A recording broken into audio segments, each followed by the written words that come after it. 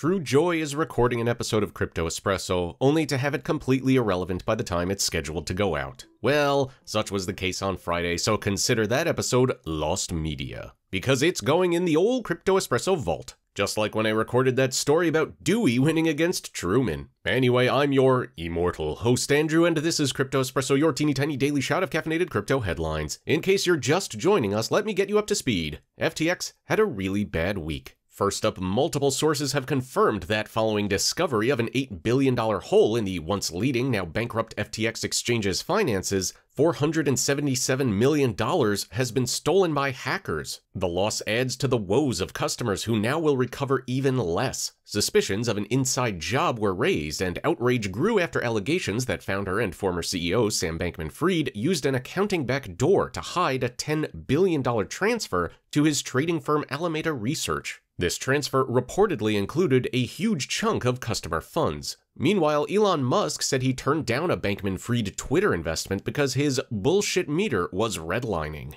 If timing is everything, Crypto.com's massive transfer of 80% of its total Ether holdings to a Gate.io exchange wallet rather than an internal cold wallet couldn't get much worse. Funds were never in danger as the receiving wallet was one of Crypto.com's own at the rival exchange. But the transfer did cause alarm and then quality control questions just as Crypto.com was attempting to get a now vital proof of reserves audit started. Reports say it may also have set off or at least strengthened a rush to the exit by customers who pulled $53 million into private self-custody custody wallets. Not your keys, not your crypto is one of the oldest and most widely given pieces of advice to crypto noobs. The sudden implosion of FTX, one of the largest and most respected exchanges in less than a week, seems to be driving more investors to take heed. A record 106,000 Bitcoin was off-ramped from centralized exchanges this week, with small, medium, and large investors, but not whales, pulling funds. It came as crypto exchange CEOs and big investors reminded everybody of that little nugget of wisdom. Criminal investigators are joining securities regulators in dissecting the gooified remains of FTX in search of misdeeds and bad actors. Along with the US Department of Justice, the Bahamas police announced it is going to investigate if any criminal misconduct occurred.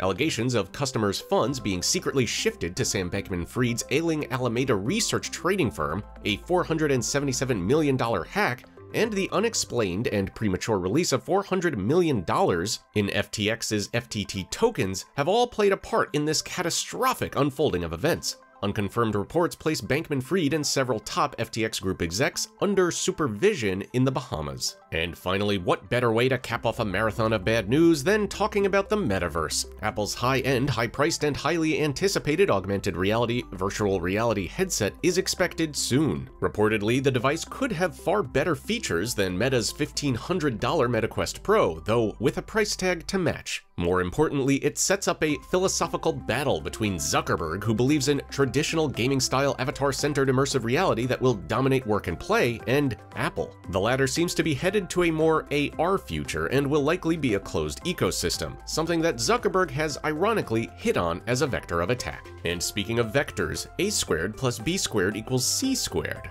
A, in this case, liking this video, B, hitting that subscribe button, and C, clicking on that little bell icon to get notified, buzzed if you will, whenever a new Crypto Espresso video goes live. It's simple trigonometry, really. And how have you been keeping your spirits up in this past week or so? Let us know in those comments below because I read them and I just might shout out my favorites in a future episode. Personally, meditation also saturating my brain with an endless scrolling of information so I can't focus on a single emotion for more than 3 seconds.